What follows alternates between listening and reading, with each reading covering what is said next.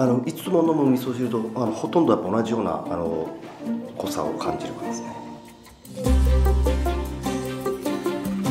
この中にはコンピューターが入っています。そのコンピューターが、えー食べ物まさに食べようとしている食べ物の中のナトリウムイオンを浮かせて一気に引きつけるという操作を行っていますそこで電気の力を使っているというわけです